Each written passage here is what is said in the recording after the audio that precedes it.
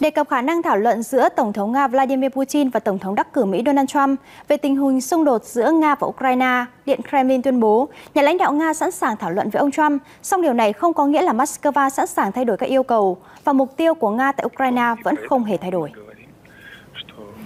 Đáng chú ý, Điện Kremlin cho hay hiện vẫn chưa có thông tin cụ thể về khả năng tổ chức một cuộc điện đàm giữa ông Putin và ông Trump, đồng thời nhận định là còn quá sớm để nói về bất kỳ sự cải thiện nào trong quan hệ Nga-Mỹ. Trước đó phát biểu tại hội nghị thường niên câu lạc bộ thảo luận quốc tế Van Dai ở thành phố Sochi, Tổng thống Putin đã chúc mừng ông Donald Trump giành chiến thắng trong cuộc bầu cử Tổng thống Mỹ, cũng như đề ngỏ khả năng đối thoại giữa hai bên.